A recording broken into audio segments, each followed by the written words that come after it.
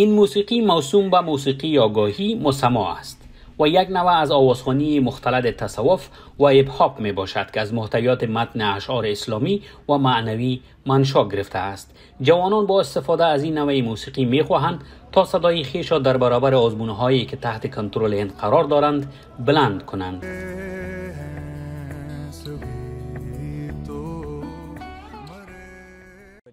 جواد سرفراز که خود شاعر است با موزون آفرینی اشعارش را زمزمه می کند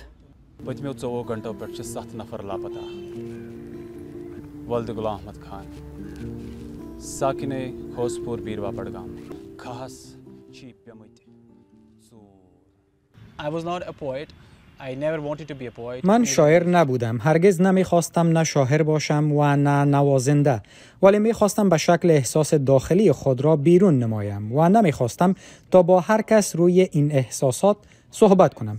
نمی توانستم فقط با پدرم با اقارب خود و یا هم با دوستان صحبت کنم. زیرا این همه برای من خیلی ها شخصی بود. بالاخره پی بردم که این نوشته بهترین طریقه برای ابراز احساسات برای شاعر است.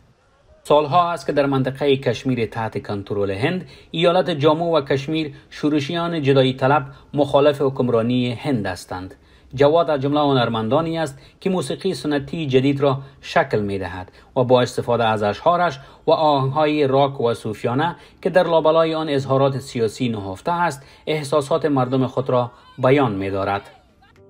زیشان نبی یک آهنگساز دیگر از حومه شهر سرینگر در کشمیر با استفاده از آلات موسیقی که در منزلش یک استودیو را ساخته است سرگرم تصنیف آهنگ ها می باشد وی می گوید که در شرایط سخت و تحت استبداد این رشته موسیقی را به پیش می برد.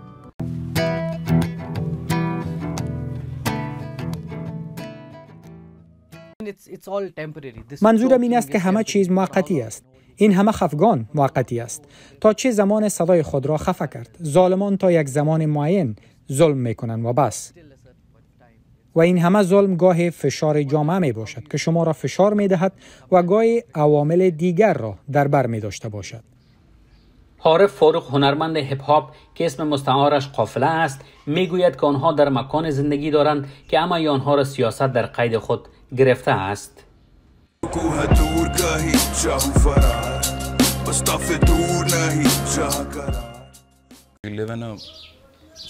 ما در یک کشور زندگی می کنیم که همه چیز سیاسی است. پس هنر چیست؟ برای من هنر یعنی باستاب دهنده روح است. همه چیزی را که در ذهن دارم و آن در ذهنم نقش بسته است. همه آن را از طریق موسیقی و از طریق اشعارم بیان می دارم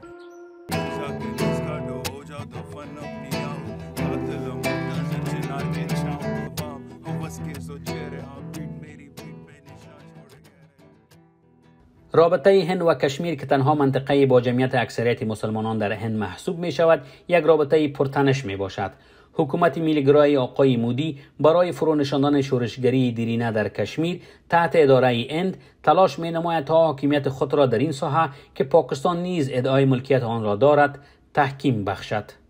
حمیدالله حمیدی تلویزیون آشنای صدای آمریکا واشنگتن.